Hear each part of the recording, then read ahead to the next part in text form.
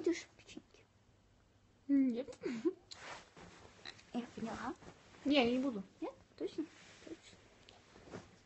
А, я не Не вчера. Я испекла. Целебный. Что-то